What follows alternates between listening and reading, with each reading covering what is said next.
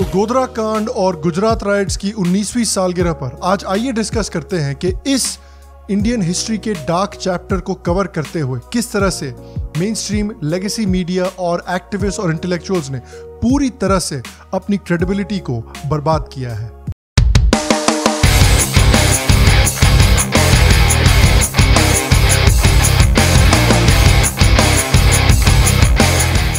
Hello hello और शाम Sharma show के इस एपिसोड में आपका बहुत बहुत स्वागत है आज मुझसे जुड़ने के लिए और आज के इस एपिसोड को देखने के लिए आपका बहुत बहुत धन्यवाद।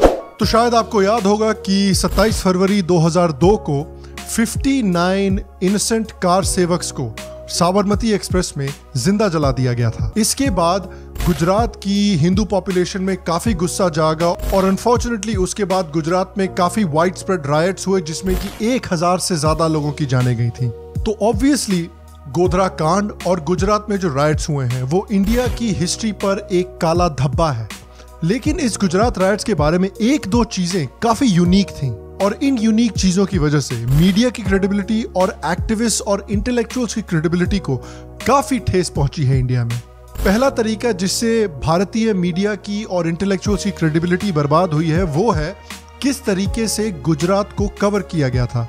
Gujarat riots were the most talked about and the most discussed riots in Indian history. India में सैकड़ों राइट्स हो चुके हैं।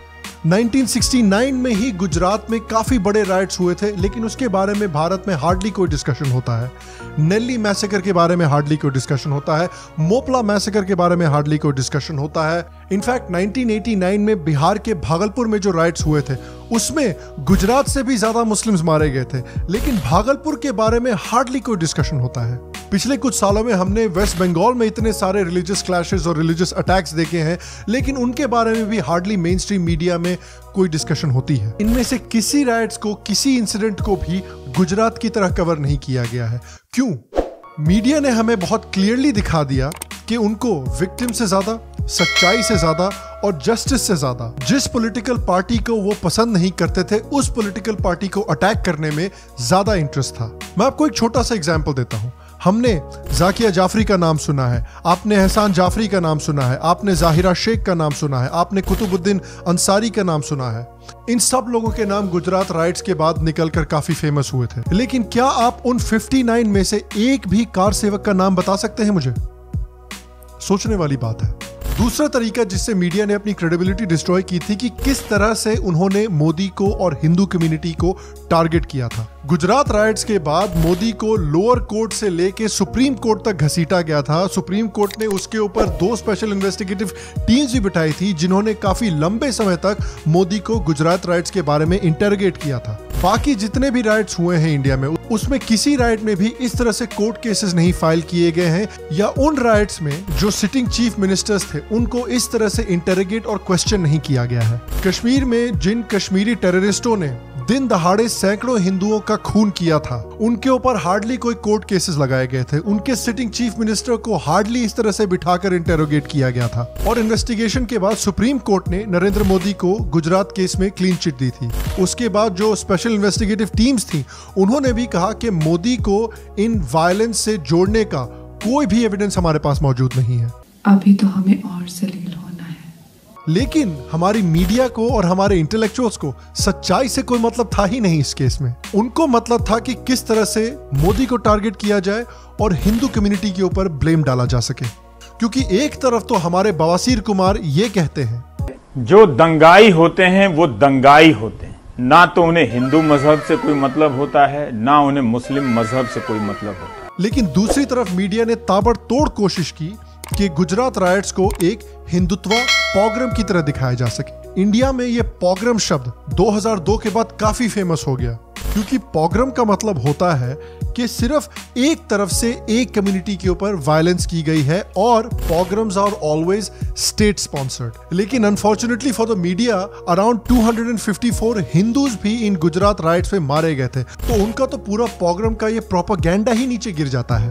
लेकिन फिर भी उन्होंने कोशिश करना नहीं छोड़ा, क्योंकि मीडिया को पता था कि देखिए भाई, ये एक गोल्डन अपॉर्चुनिटी है मोदी को और बीजेपी को डिस्ट्रॉय करने का और हिंदू कम्युनिटी का नाम खराब करने का। हमारे एक सीनियर जर्नलिस्ट ने कहा है ना we enter parliament within five minutes of our centering we heard gun shots it was a great day you know we are like we feed on on on these moments. तो भाई ये vultures कैसे operate करते हैं सबसे पहले कि भाई जो भी हिंदुओं के खिलाफ हिंसा हुई है उसको पूरी तरह से व्हाइट वॉश किया जाए मीडिया ने और इंटेलेक्चुअल्स ने खूब कोशिश की कि कार सेवकों का जो मर्डर हुआ है उसके लिए कार सेवकों को खुद ब्लेम किया जाए अरुंधति रॉय जी का ये कमाल का एक्सप्लेनेशन जरा सुन लीजिए a, a, a train full of pilgrims coming back from the destruction of this Ayodhya mosque, which was disputed.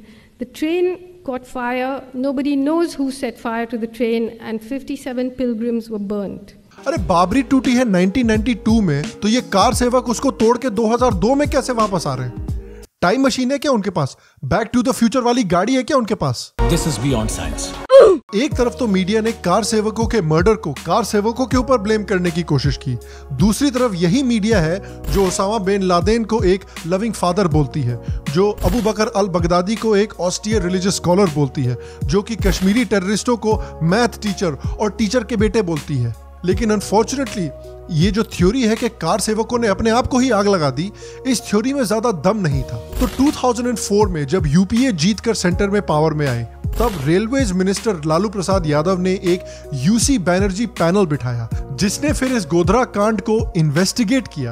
और इन्वेस्टिगेशन के बाद उन्होंने यही कहा कि हाँ भाई, कार सेवकों ने ही अपने आप को आग लगा दिया था। लेकिन यूसी बैनर्जी पैनल के इस फाइंडिंग्स के बाद गुजरात हाई कोर्ट ने तुरंत कहा कि ये पैनल जो है इलीगल है और गलत फैक्ट्स का इस्तेमाल कर रहा है। गुजरात हाई कोर्ट ने कहा कि ये पैनल जो है, ये फैक्ट्स को डिसरिगार्ड कर रहा है और इस पैनल को पॉलिटिकल पावर का मिसयूज करके गलत इंटेंशंस के साथ बनाया गया है। उसके ऊपर से पिछले कुछ सालों में कई लोगों को गोधरा कांड में चार्ज करके अरेस्ट भी किया गया है। लेकिन जाने भी दो यारो मूवी में जिस तरह से लोग एक डेड बॉडी को ज़िंदा दिखाने की कोशिश कर रहे थे, उसी तरह से कार सेवकों ने अपने आप को खुद आग लगा दी। इस पूरी तरह से डिबंक नैरेटिव को ज़िंदा रखने के लिए फिर भी मीडिया काफ़ी कोशिश करती रही। बीबीसी और न्यूयॉर्क टाइम्स जैसे बड़े बड़े ऑर्गेनाइजेशन ने 2016 और 2017 में इस यूसी बैनर्जी रिपोर्ट को कोट करके कंस्पिरेसी थ्योरीज फैलाने की कोशिश की जा रही थी। और मीडिया इंटेलेक्चुअल्स और एक्टिविस्ट के थ्रू इस सस्टेन्ड प्रोपागेंडा कैंपेन का आज रिज़ल्ट ये है कि इंडिया में एक्चुअली कुछ लोग हैं जो ये मानते हैं कि गोधरा ट्रेन बर्निंग बीजेपी और आरएसएस ने करवाई थी। इस लाइक ये गोधरा कांड का वीडियो है। न्यूज़ चैनल चल रही है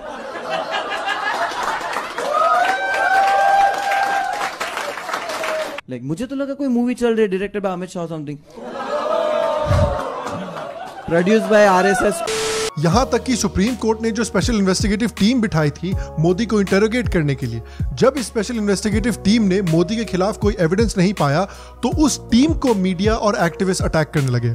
आर के राघवन जो सिट के हेड हुआ करते थे, मोदी को इंटेरोगेट करते के समय, उन्होंने अपनी ऑटोबायोग्राफी में ये लिखा है कि मीडिया ने और एक्टिविस्ट ने पिटिशंस लगाए उनके खिलाफ। उनको पर्सनली अटैक किया गया। उन्होंने तो कहा कि उन्होंने ये भी सुना था कि सेंट्रल गवर्नमेंट उस समय पर उनके फ़ोन को टैप कर रही थी। तो इन नटशेल, अपने प्रोपागेंडा को आगे बढ़ाने के लिए इन्होंने सारी एविडेंस को डिसरिगार्ड करके इग्नोर करके बीजेपी और हिंदू कम्युनिटी का नाम खराब करने की कोशिश की। और तीसरा तरीका जिससे इन्होंने अपनी क्रेडिबिलिटी को बर्बाद किया, वो था गलत लोगों को हीरो बनाने की कोशिश करके। 2002 के रायट्स के बाद मीडिया ने और इंटेलेक्चुअल्स ने खूब कोशिश की तीस्ता सीतलवाड़ को एक ह्यूमन राइट्स चैंपियन की तरह प्रेजेंट करने की। क्योंकि तीस्ता सीतलवाड़ ने कहा था कि, भाई, मेरे पास मोदी के खिलाफ बहुत सारी एविडेंस है और मैंने बहुत सारे विटनेसेस जमा किए हैं, जो कि हमें ये बताएँगे कि, भाई, मोदी का डायरेक्ट हाथ था गुजरात राइट्स को करवाने में। ये सब चीज़ें बोल के तीस्ता सीतलवाड़ जी ने काफ़ी फंडिंग भी जमा की अपनी ऑर्गेनाइजेशन के लिए। लेकिन बाद में हमें क्या पता चला कि इन मैडम का अपना खुद का ही एजेंडा था। यास्मीन बानू शेख, जो कि एक प्राइम विटनेस थी तीस्ता सीतलवाड़ की। उन्होंने बाद में कहा कि तीस्ता सीतलवाड़ ने उनके ऊपर प्रेशर डाला था कोर्ट में जाकर झूठ बोलने के लिए। जो स्पेशल इन्वेस्टिगेटिव टीम मोदी को इन्वेस्टिगेट कर रही थी, उन्होंने भी फिर तीस्ता सीतलवाड़ के खिलाफ इन्वेस्टिगेशन की और उन्होंने पाया कि तीस्ता सीतलवाड़ ने कई विटनेसेस को कहा था कोर्ट में जाकर झूठ बोलने के लिए और उन्होंने कई सारी मन घड़ंत कहानियाँ भी बनाई थी सिर्फ़ मोदी गवर्नमेंट का नाम खराब करने के लिए। यहाँ तक कि रईस खान, जो कि तीस्ता सीतलवाड़ के एनजीओ के एक वर्कर हुआ करते थे। उन्होंने भी तीस्ता सीतलवाड़ के ऊपर आरोप लगाया है कि उन्होंने विटनेस टैंपरिंग की है और विटनेसेस को कहा है कोर्ट में जाकर झूठ बोलने के लिए।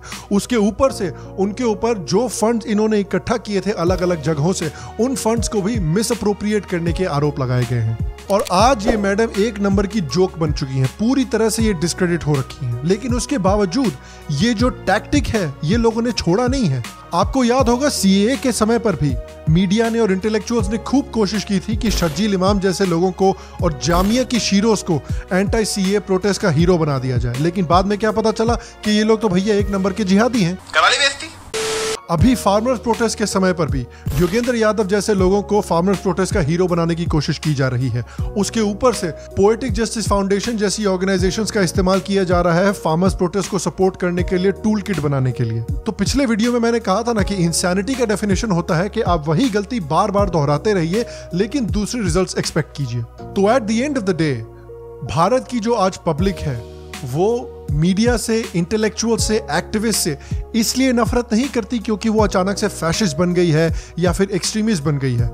वो इसलिए इन लोगों से नफरत करती है क्योंकि इन लोगों ने हमेशा जस्टिस और ट्रूथ के ऊपर अपने एजेंडा को और अपने पर्सनल वेंडेटा को रखा है। तो आज गुजरात राइट्स के 19 साल की एनिवर्सरी पर हमें गुजरात में जिन बेगुनाह लोगों की जाने गई हैं, उन सबको याद करना चाहिए। और हमें कसम खानी चाहिए कि सारी पॉलिटिकल पार्टीज़ के ऊपर हम ये प्रेशर बनाएँगे कि एक strong law and order system को आप अपने मैनिफेस्टो में डालिए और इम्प्लीमेंट कीजिए। और अपने आप से ये भी कसम खाइए कि अगर आपको मेन स्ट्रीम मीडिया से चिड़ है लेगेसी मीडिया से चिड़ है इन इंटेलेक्चुअल्स और एक्टिविस्ट से चिड़ है तो फिर आप एक ऑल्टरनेटिव मीडिया और कमेंट्री इकोसिस्टम को सपोर्ट करें। ताकि वो एक स्ट्रॉन्ग इकोसिस्टम बने और इस लेगेसी मीडिया से और इन एक्टिविस्ट से जमकर मुकाबला कर सके। और मैं आपसे पूछना चाहता हूँ कि आपका पर्सनली मीडिया से इंटेलेक्चुअल से विश्वास कब उठा? नीचे कमेंट सेक्शन में मुझे ज़रूर बताएँ। अगर आपको आज का एपिसोड पसंद आया तो प्लीज़ आज के एपिसोड को एक लाइक दें, एक थम्स अप दें। इससे मेरी बहुत मदद होती है, इससे शो की बहुत मदद होती है। अगर आपको ये शो वैल्यूबल लगा, अगर आपको ये एपिसोड वैल्यूबल लगा तो प्लीज़ इस एपिसोड को जितना हो सकता है शेयर करें। इससे मेरी भी मदद होती है और इससे सच को फैलने में भी मदद होती है। अगर आपको श्याम शर्मा शो पसंद है तो प्लीज़ श्याम शर्मा शो को पेट्रियन पर सपोर्ट करें। श्याम शर्मा शो के यूट्यूब पर एक मेंबर भी बने। इससे आपको श्याम शर्मा शो के डिस्कॉर्ड सर्वर पर एक्सेस मिलेगा और श्याम शर्मा शो के व्हाट्सएप ग्रुप में भी एक्सेस मिलेगा। अगर आपको आज का एपिसोड पसंद आया, अगर आपको श्याम शर्मा शो पसंद है, लेकिन आपने अभी तक फिर भी सब्सक्राइब नहीं किया है, अरे भैया, ये तो रहा प्यारा सा बटन सब्सक्राइब कीजिए बेल आइकॉन को दबाना बिल्कुल भी मत भूलिएगा। और हमारे यहाँ और यहाँ और भी एपिसोड्स हैं, जरा इनको भी जाकर देखिए, आपको ज़रूर पसंद आएँगे। मैं आपको अगले एपिसोड में मिलूँगा और तब तक स्वस्थ रहें, सुखी रहें, और फिर मिलेंगे।